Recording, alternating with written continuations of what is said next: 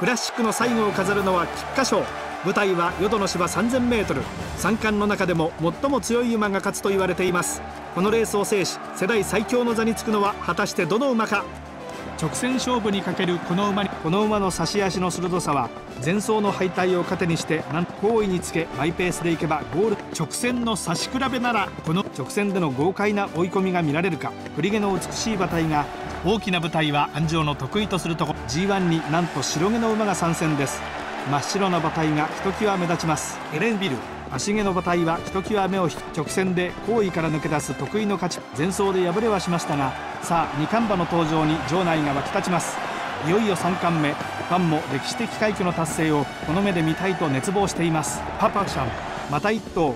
影の実力馬数々の影の名馬の面影が安城は人気薄での名手。G1 に颯爽と現れた白毛の馬体。こちらは今日の2番人気。人気は譲っても勝利を譲る気はありません。ゲロルトさあいよいよスタートです。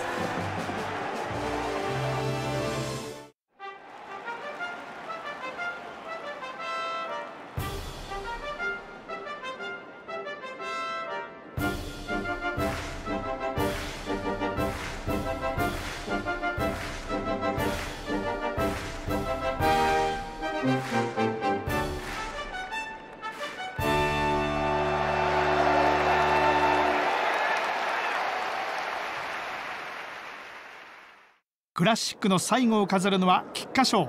舞台は淀の芝 3000m 三冠の中でも最も強い馬が勝つと言われています。今年は三冠馬誕生に期待がかかります。パパシャン。歴史的な瞬間をしっかり見届けましょう。さあ最後は大外枠のゲロルトゲートに入って体勢が整いました。スタートしました。各馬揃ったスタートです。さあ先行争いスリルコーデックス前に行きそうです。アグネス彗星それに続いています。さらにはアーテリスキララ10番エンマフラグテリーその後ろ先手を取ったのはスリルコーデックス。これに続くのがカクテラアーテリス。その後ろからはデンマイヤーズ。その外からセシルガンズ。並んで前哨戦の勝ち馬エレンビル赤頭フェンシブこの馬もこのグループ。その外にセブンホスター。後方に控える形でパパシャン。さあこの辺りで各は正面スタンド前を通過します。先頭から最高峰までおよそ10馬身よどみのない展開になりました。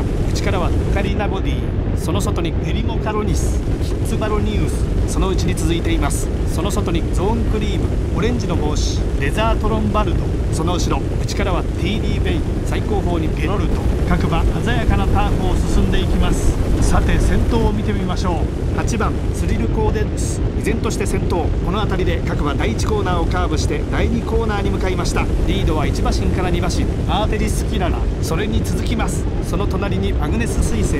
そして大きく離れてエンマイヤーズこの位置です。その外にエンマフラッテリー並んで芦毛の馬体カクテラーアテリス。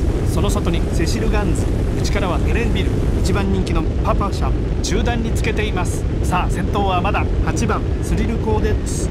リルコーデックスリードを広げていく2番手はアーテリスキララアグネス彗星3番手2冠馬パパシャまだ後ろ安城のゴーサインはまだでしょうか。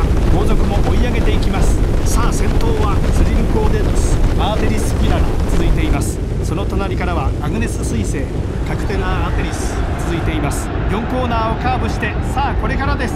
最後の追い比べ先頭はパパシャン。前に迫るエレンビル。パパシャン先頭。さあエレンビル一気に来た。パパシャン先頭。残り 200m を通過して。さあ先頭は今度はエレンビル2番手はパパシャン。後続は大きく離れました。エレンビルまさに完勝。今ゴールイン。2着はパパシャン。3着にカクテルアーテリス。見事に勝ちました。エレンビ